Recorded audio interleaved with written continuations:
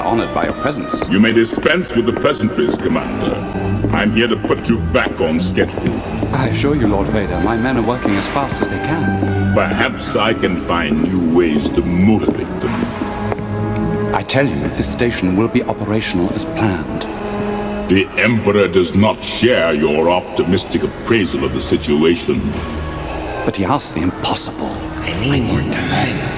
Then perhaps you can tell him when he arrives. The Emperor's coming here? That is correct, Commander.